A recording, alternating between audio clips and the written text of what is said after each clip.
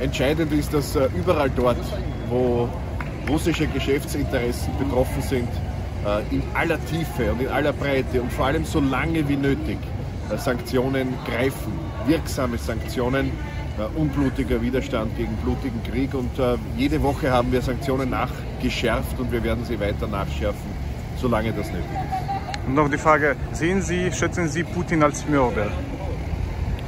Es ist ganz klar, dass äh, ein Krieg, der nicht konventionell geführt wird, sondern sich gegen die Zivilgesellschaft richtet, äh, dass das auch etwas ist, das äh, Kinder, Frauen und Männer betrifft, die zu Tode kommen, die sterben.